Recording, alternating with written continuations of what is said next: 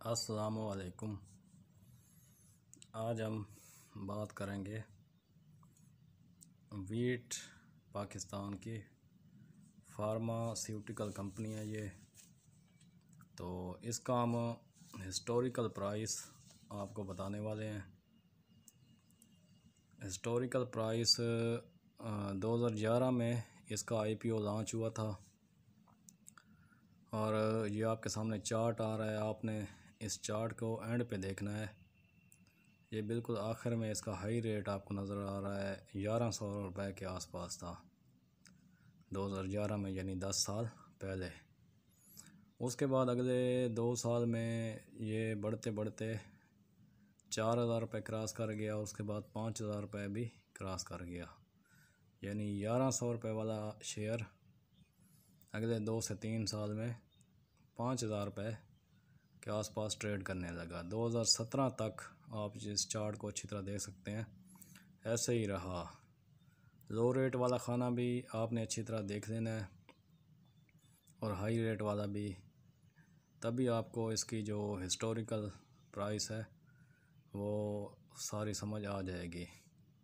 और उसके बाद हम वीडियो के एंड पे जो, ये जो अब एक साल गुज़रा है दो, उस, वो भी आपको दिखाएँगे। कि इतनी ज़्यादा तेज़ी इसमें आई है। आठ सौ रुपये वाला स्टॉक इस वक्त छब्बीस सौ रुपये के आसपास ट्रेड कर रहा है। अच्छा इसी तरह हमने बहुत सारे स्टॉक के आईपीओ से लेके अब तक की, यानी दस दस साल, पंद्रह पंद्रह साल जिनको लॉन्च हुए हुए हो गए हैं, उनके हमने हिस्टोरिकल चार्ट आपको दिखाए हैं मुख्तलिफ़ वीडियोज़ में। सबका वीडियोज़ में जाके मेरी प्ले लिस्ट में आप देख सकते हैं। और चैनल को सब्सक्राइब कर लें, बेल आइकान प्रेस कर दें, ताकि हर आने वाली मालूम से फ़ायदा हो। चलें, वापस चलते हैं इसकी तरफ़। अच्छा ये आपने एक तो चार्ट अच्छी तरह स्टडी कर लेना है। उसके बाद 2017 में आप देख सकते हैं, पाँच हज़ार के तीन सौ के आसपास था और फिर 2018 में गिर के बाईस सौ पे आ गया। उसकी वजह के 2018 और 19 में जो बदतरीन मंदी मार्केट में देखी गई, चौवन हज़ार पॉइंट से गिर के मार्केट सताईस हज़ार रुपये पहुँची तो इसी वजह से सारे के सारे स्टॉक्स का यही हाल हुआ।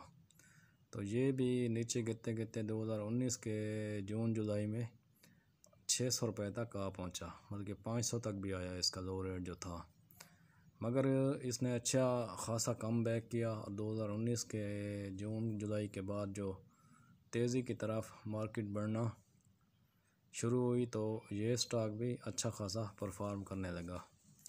और फिर पाँच सौ वाला स्टॉक एक हज़ार के आसपास ट्रेड करता रहा, मगर पिछले एक साल में जो बहुत ज़्यादा तेज़ी दिखने में आई है मार्केट में तो ये स्टॉक भी ऊपर उठते उठते अब इस वक्त बाईस सौ से छब्बीस सौ रुपये के आसपास ट्रेड कर रहा है।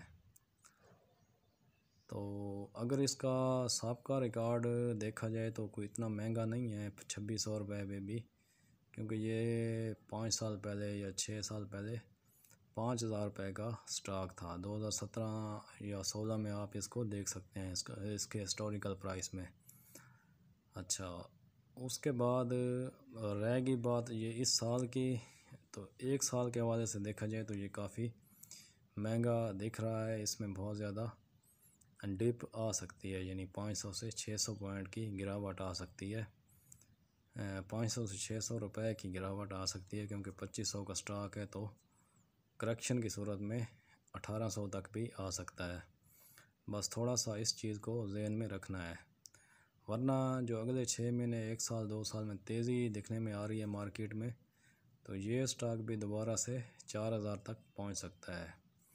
तो इसको नज़रअंदाज भी मत कीजिएगा, फार्मेसी का दौर है अच्छा खासा स्टॉक चल सकता है।